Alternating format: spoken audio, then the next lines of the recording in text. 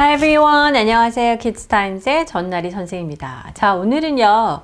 그 유명하신 헨리 포드에 대해서 읽어보겠습니다. 뭐 자동차 왕이라고도 하고요. 이제는 뭐 포드 자동차라는 어떤 자동차 브랜드가 하도 많고 그렇기 때문에 조금 그 상징성이 줄어들긴 했지만 자동차의 대중화에 기여한 아주 대단한 분이시죠. 네. 자, 헨리 포드가 누구일까요? Henry Ford was a successful businessman who started the Ford Motor Company in 1903. 1903년도입니다. 무려 엄청난 옛날이네요. 헨리 포드는 1903년도에 포드 자동차 회사를 시작한, 그렇죠. 아주 성공한 사업가였습니다. 좀 설명이 길어요. 우리가 그냥 he was a successful businessman 이렇게 써도 되겠죠. 성공적인 사업가였어요. 그런데 사업가도 여러 가지 종류가 있고 여러 가지 분야가 있는데 이분은 특별히 자, 자동차 회사를 시작하신, 만드신 그런 사업가였다라고 해서 추가적인 설명이 붙었습니다. 이렇게 사람에 대해서 뭐 그 사람이 비즈니스맨이건 닥터건 티처건 아니면 그냥 a woman or a man 뭐 상관없이 이 사람에 대해서 이런 사람이었습니다 라고 설명을 붙여줄 때 우리가 뒤에 특별히 이제 절이라고 하죠. 이렇게 나올 때 연결해주는 단어가 있습니다. 여기서 바로 who라는 단어가 연결을 해주고 있는데 우리가 이런 걸 관계 대명사라고 하죠. 앞에 사람이 나왔을 때는 who를 써주고 물건이나 사물이 나왔을 경우에는 뭐 동물이 나왔을 경우에는 which나 that을 써주는 것이 원칙이죠. 물론 여기도 that으로 바꿀 수 있습니다. 이때는 이것을 누구라고 해석하지 않죠.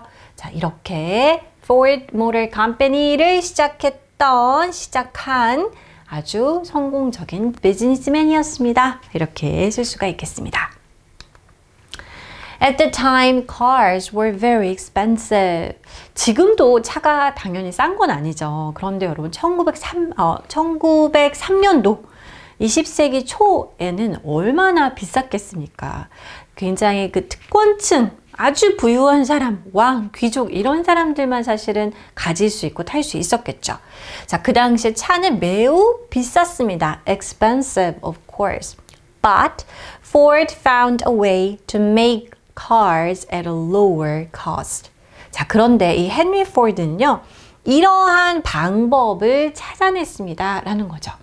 자, 차가 많은 사람들이 이용하면 좋을 텐데 만들 때 너무 돈이 많이 들면 우리가 그거를 갖다가 손해를 보고 가격을 매길 수는 없잖아요. 그런데 포드는 더 낮은 비용으로 차를 만들어내는 방법을 찾아냈다고 합니다.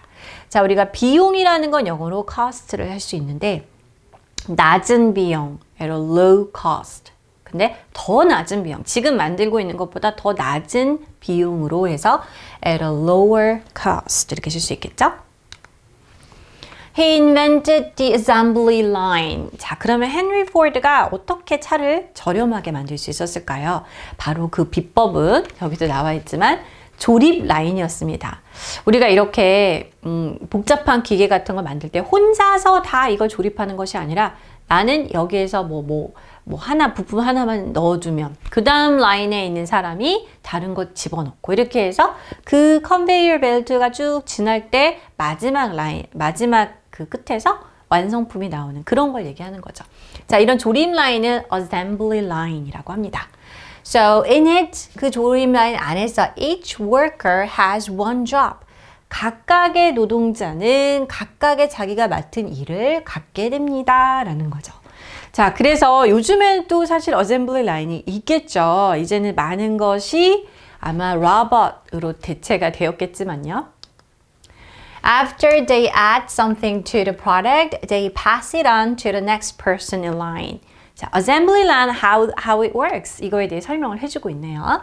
자, 일단은 원 워커가 뭔가를 그 제품에다가 딱 더해요. 그죠? 뭐 제품 뭐 부품을 갖다 넣는다든지 낀다든지. 그리고 그 다음 라인에 있는 사람에게 전달을 해줍니다. 자, 뭔가를 이렇게 전달해 주는 거 pass on, pass something on to someone 이렇게 쓸 수 있겠죠? With the assembly line, products could be made faster and with less effort. 자, 이렇게 어셈블리 라인이라는 도구를 통해서 여러 제품들이 만들어질 수 있습니다. could be made. 속도가 더 빨라질 수 있고요. 그리고 노력이 더 덜 든다는 거죠. less effort. 더 작은 노력으로 제품을 완성할 수 있었다는 거죠.